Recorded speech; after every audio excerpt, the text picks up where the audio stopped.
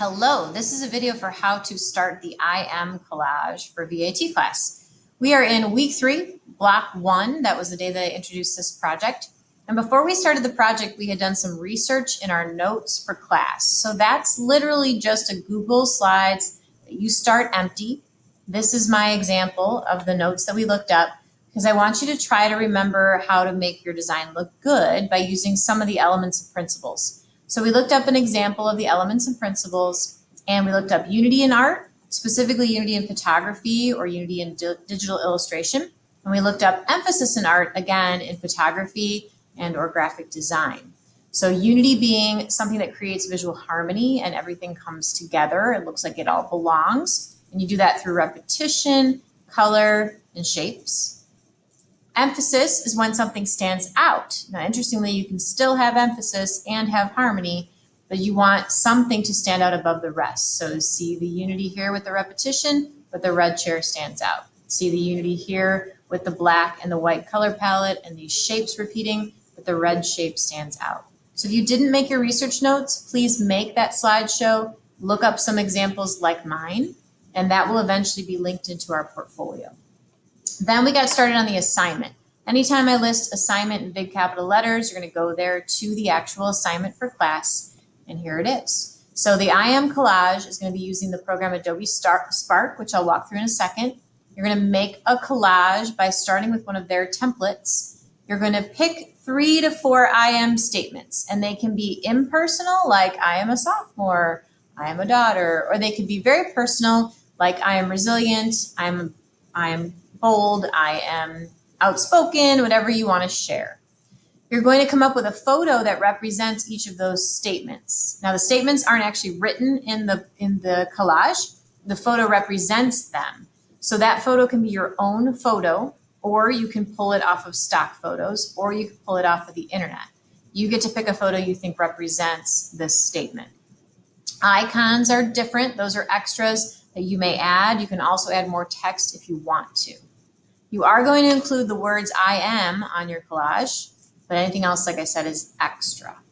And then you're going to turn in the project into your collage, or sorry, into your portfolio, which I'll see when I grade. So going back here, um, this is an example of mine. So I made it with five photos. I am an art teacher, so these are pictures of me and my art teacher friends. I am a mother and a wife, so this is my family. I'm an artist, so here's a piece of my art. I'm a digital artist, so here's a photo on a computer.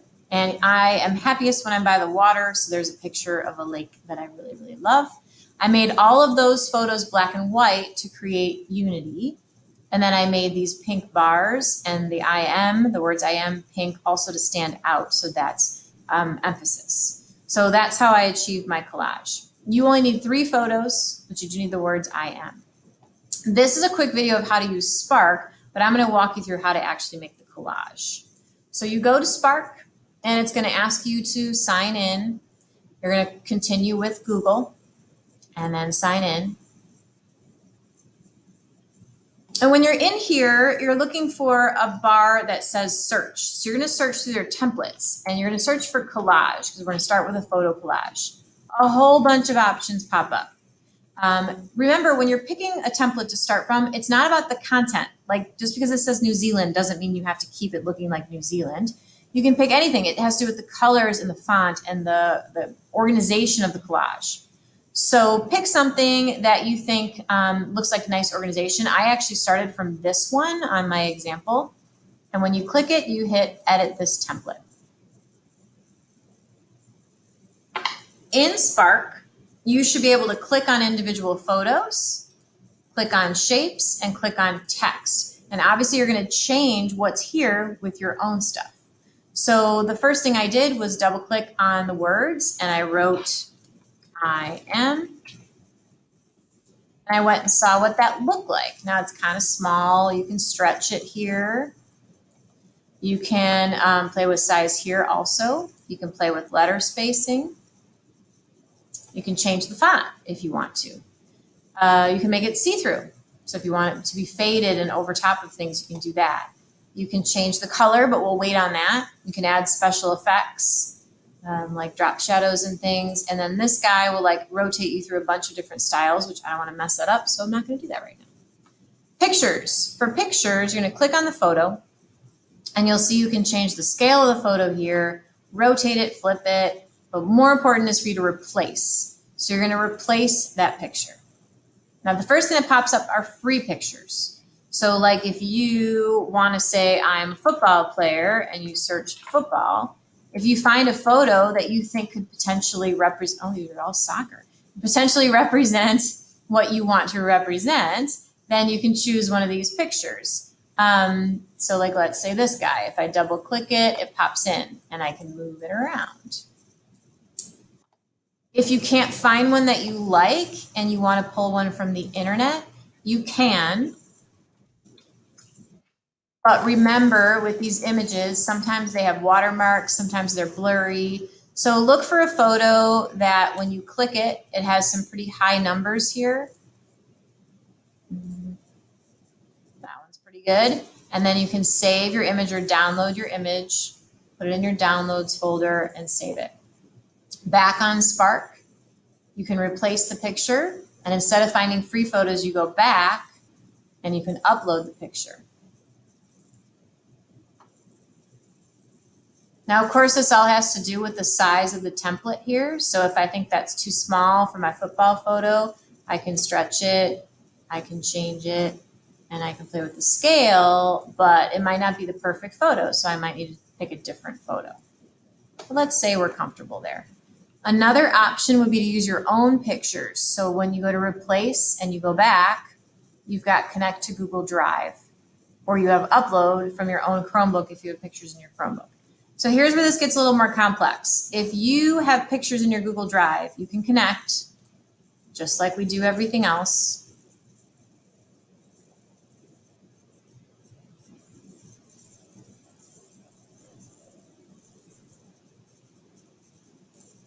That again, replace, go back, Google Drive.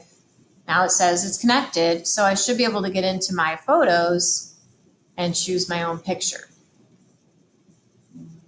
We'll do this one.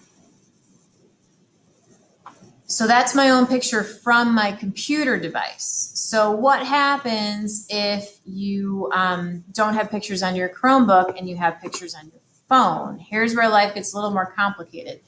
You can put Google Drive on your phone or on your iPad by downloading the app. And I cannot stress enough how much I use this app every single day. So it's really helpful. When you have Drive on here, it's going to ask you which folder you want to upload to. Let's go here. And you hit this plus button down here. Oops, wrong button. Hit the plus button.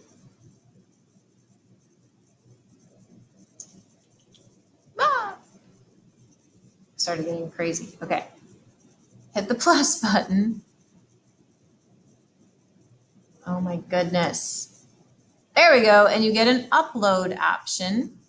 You click upload and it will navigate to photos and videos and then your pictures should load.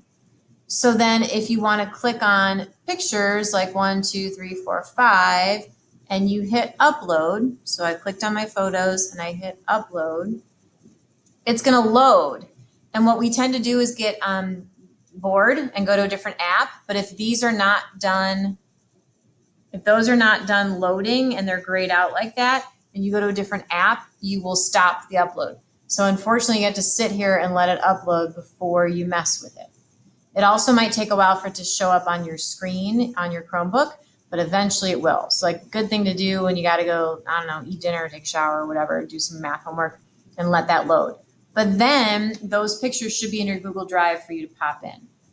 Again, if all this is too complicated, just choose stock photos that you think represent what you're talking about.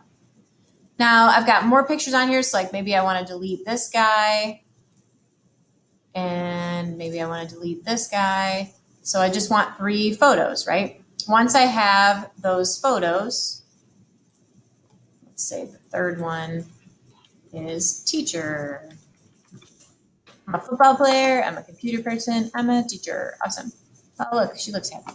So this, so it's not my face. So you're just seeing holding a computer there. Um, now you had to make things look like they're unified. So on the photo itself, you can go over here to image.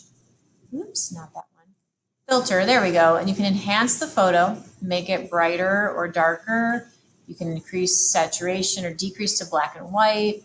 You can play with warmth and shadows. So you can play with the overall appearance of the photo to make it look um, similar. You can also go down here to filter and you could also go to apply to all the photos. The same filter goes on to all the photos and that helps make unity. Now this I am right here, I feel like I want to make that a little bit bigger. So I'm going to do this kind of a thing and I'm going to do this kind of a thing and then I want to change the color. So I go to color and it's going to automatically give me colors that it thinks look good with what's going on in my piece here. So I can change this and I can shuffle, go to this one and I can shuffle. I can go back to this guy and change the color of that. So I can play around until all this looks like it has unity and it has emphasis.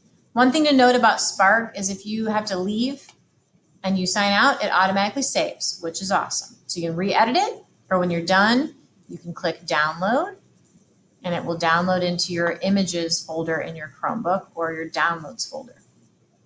That's what you're going to put in your portfolio. So when you scroll down into part one, you're going to see this work slide. You're going to go to slide duplicate, make a duplicate of that slide, and you're going to take this guy out and put in your project. You're going to write your reflection based on the prompts here. This is in my example portfolio. So you're going to tell me what your I am statements are and um, what you did to create unity and emphasis. So I hope this helps get you going so you can get started for the project. Um, do the best you can and always email me for an appointment and we can go through it together.